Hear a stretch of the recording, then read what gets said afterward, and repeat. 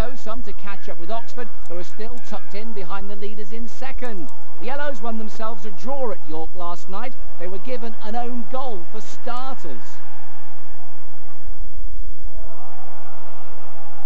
Then they went and lost their way as York piled in two goals into the right net. Second defeat of the season cards.